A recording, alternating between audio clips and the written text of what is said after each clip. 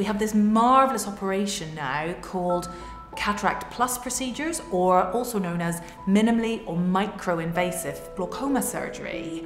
And as somebody who does these procedures regularly and who's very experienced in them, I find it a wonderful opportunity. I'm almost glad sometimes when my glaucoma patient has cataracts too because it means that by trying to improve their vision with the surgery I can also make their glaucoma treatment less onerous or much easier for them to cope with.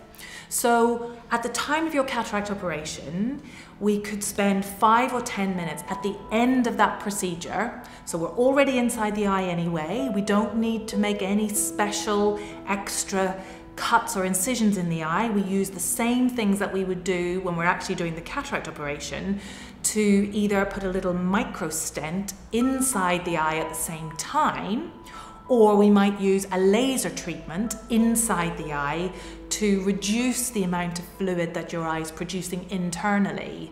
And both of those things can really help reduce your need for drops in the long term. So it makes absolute sense to me that if you are a glaucoma patient who's using drop treatment and you're told that you have cataracts as well, that you should ask your specialist specifically about whether the cataract operation can be used to help treat your glaucoma as well. Because imagine if you're on one drop only before the operation, and I'm able to say to you, well, I think there's a really good chance that after the operation we may be able to stop these drops for a period of time. Even if that's only two years, three years, or five years, I still think it's a worthwhile consideration because any period of time off drops, I think, is very helpful to the patient. And as we grow in experience in using these devices, we have lots of data that we can share with you. Not all implants are suitable for all people. Um, my experience in particular is in using um, the outflow stents, such as the iStent, um, and the suprachoroidal stents, which are have been very effective in reducing eye pressure, but also the laser treatment. In my NHS contract, we have been doing the the laser inside the eye for more than 10 years now and have the largest um, patient database of, um, of people who've undergone this treatment. So we're very experienced in assessing which of these micro or minimally invasive treatments might be right for you. What I would say is I think, I think all patients would expect their specialist to appraise them of all the options that are available. And I think sometimes if you're not used to some of these newer techniques, that may not be discussed with you.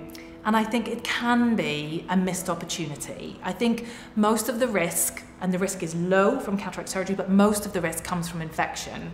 And if you're inside the eye already, it makes absolute sense to me that you use five or 10 minutes at the end of that procedure to help the other condition that your eye has.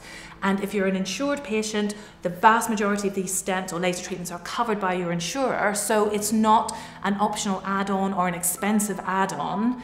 Um, and in terms of cost effectiveness, if you are self-funding your treatment, again, I would encourage you to think about it because in the longer term, it can save you money because of you know reduced needs for prescriptions, the time that you take around ordering and renewing your prescriptions and the admin around that. So minimally or microinvasive glaucoma surgery as part of a cataract operation is here to stay and our experience with it is only going to grow. So don't be afraid to ask your specialist about whether it might be suitable for you because the implications it can have on your life afterwards, not only are you going to hopefully have much better vision from the surgery, but if we can also render you less drop dependent or even drop independent, wouldn't that be lovely for you if you're used to taking the drops to suddenly not have to think about them anymore? So definitely worth exploring and I would always appraise or advise glaucoma patients who are having cataract surgery to see a glaucoma specialist who can do both procedures for you because then you know that you'll get the best